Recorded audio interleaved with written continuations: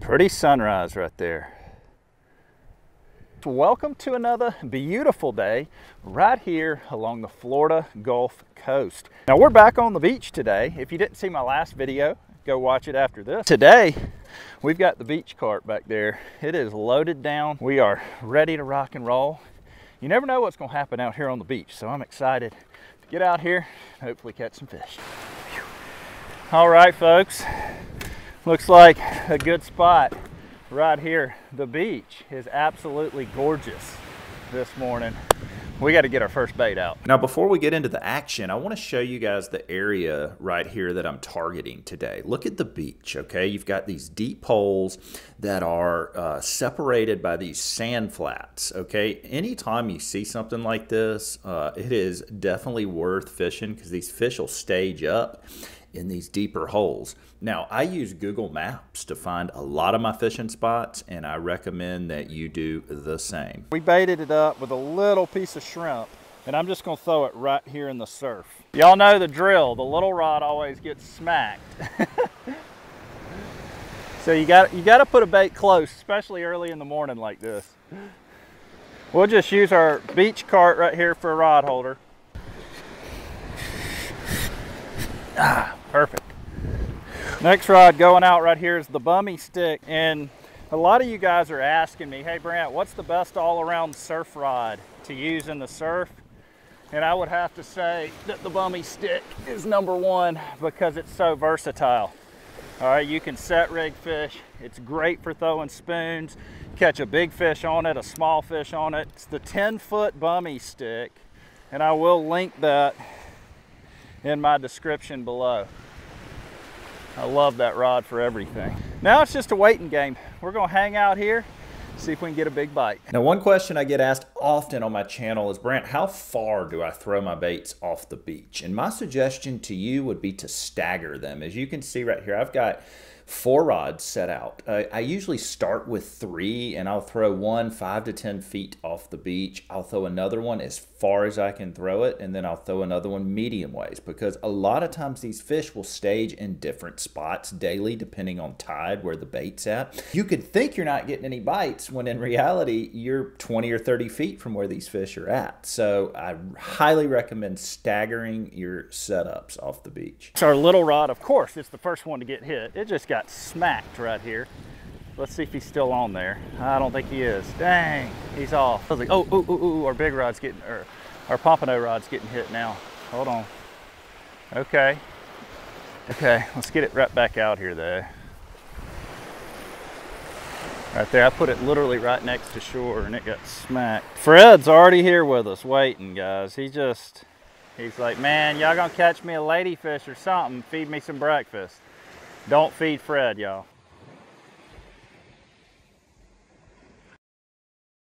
I am pretty sure we've got a fish on right here, folks. In fact, I mean, that rod went so slack. Let's see. Uh, oh yeah, we're on. Finally, a decent fish hooked up right here, folks. This may be breakfast right here. This may be breakfast. Let's see what we caught it on. This is a nice fish. Come on. Come on. Oh gosh. Remora. Unbelievable, dude. And folks, if you don't know what a remora is, it's those guys that suck onto the back of sharks. See that suction that they have on their head right there? That was a pompano fake out is what that was. I thought I had a nice pompano coming in. I thought I had breakfast. This rod right here, the line is completely slack. There has got to be a fish on it. Or either we had a fish on it and he came off, one of the two. Oh look, no, we got a fish. He's running down the beach right here. Look at there. We definitely got a nice fish on right here. Come on, come on. Oh yeah, big old whiting. Heck yeah, that's the first good fish of the day right here. Check out that whiting right here. That is a nice, healthy whiting. That's a good one. Guys, we're gonna take a big cut piece of whiting and chunk it out here just to see what happens. All right. Ah, I think we got a fish on our other rod now. Dang, they're starting to bite. Guys, I think the fish are starting to bite. I think we're got another one on here. Uh, nope, he came off. Dang. There's a few fish hanging around here.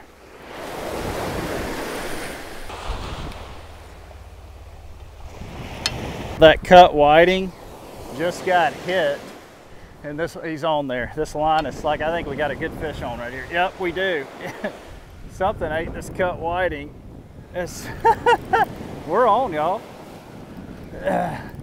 It's coming in. It ain't that big. I don't know what it is.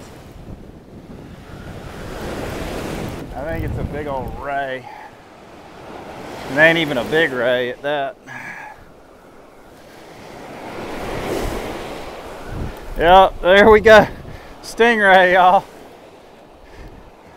Oh, ate the cut bait. Old stingrayer. Try and get the hook out of this guy. We got the hook out. We're gonna let this ray go.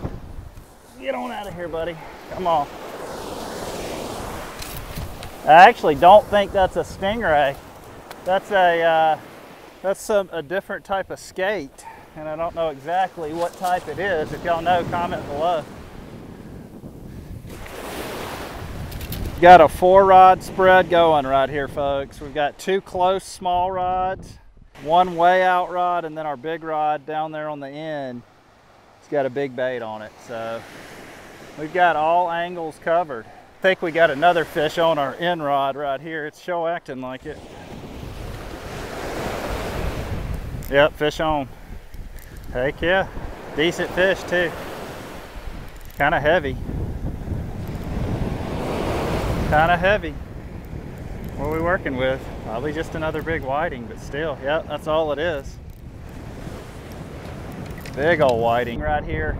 That's a good fish, man. That ain't bad at all. I'll take these all day long. When I'm using shrimp on the beach like I am today, I like using little pieces, about like that right there. I will, if they're good shrimp, I'll peel them. And what peeling them does is it just it usually entices a better bite. Surf fishing's funny, man. You can sit here for an hour and not get a bite, and then all of a sudden, boom, boom, boom, boom, your rods just start going off. So let's, while the bite's hot, let's get another bait out there.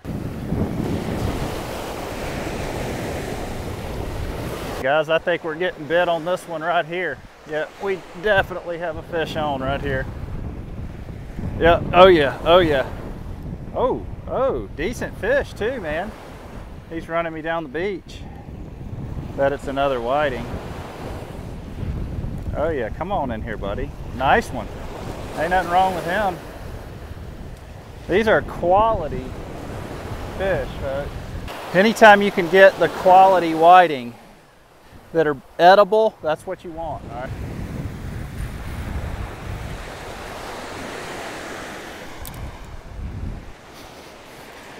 Got that little rod back out there.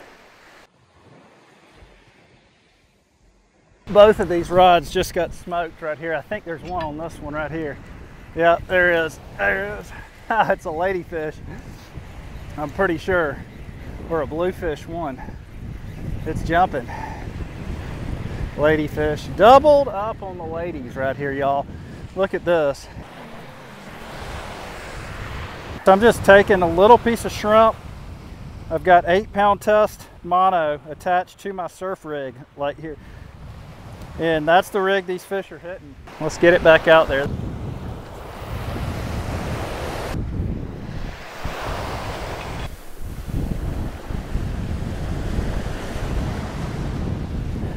Little rod got hit again. Let's see. Yep, fish on, fish on. Come here. Come here. Oh, another giant, dude. Another, look at the size of this sucker. That is another tank of a whiting right here, folks. Look at the size of these guys, man. All of a sudden, the giant whiting started biting and we're getting hit now with every bait. My little rod's getting hit right now as I'm talking. that little rod is completely slack. Gotta be one on it. Yep, he's running down the beach. There is. oh yeah, another whiting. I had this one literally five feet from shore, dude. Look at what a fish right here, y'all. Nice.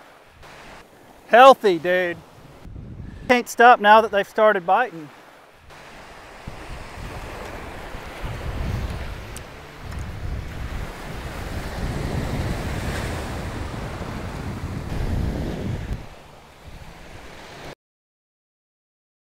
One just got smoked right here. I don't know what it is. Oh yeah, he's on there. That's a good fish. Yeah, that's a good fish. This may be a pompano. He's coming right to, no, it's a giant whiting, dude. Check out this whiting right here. Whoa, there he is. That's another one going home for breakfast right here. This is a learning uh, opportunity for you guys. I was set up a few minutes ago right down there. That's where I started and I never got any bites, hardly at all. Gonna move down a little bit. As soon as I move down, it's boom, boom, boom, boom, boom. So sometimes if you're not getting any bites, continuously move down the beach until you find where they're at. The fruits of our labor right here. Sometimes you just need some fried fish, potato salad, some coleslaw. It is an absolutely gorgeous day here in Pensacola, Florida. Like y'all look at that and it's like 65 degrees, 70 degrees. It is absolutely beautiful out here. We're about to eat us some fried fish. Life is good, you know, I, and I gotta admit, this winter so far, for some reason, has been one of the toughest winters I've had on my channel. Just trying to find the motivation to get out and, uh, and fish. It's just been hard to push through, but we're doing it. I can tell you that. Let's, let's try this fish right here. I don't know if you saw my last video, I deep fried fish with our, uh, with our new outdoor fryer. Love it that way, but today I just did these guys in breadcrumbs on the stovetop in the house and they're amazing like that too. Thank you guys for uh, coming out to our sale this weekend. We had a big sale at the warehouse. Sale went phenomenal, like way better than we expected. But and thank you for that. Like you got, dude, there, there was so many people there and uh, we could not be more appreciative of you guys coming out and supporting us. If you enjoyed that video, shoot me a big thumbs up. Everything I'm involved with linked in my description below. I am a licensed real estate agent right here along the Florida Gulf Coast.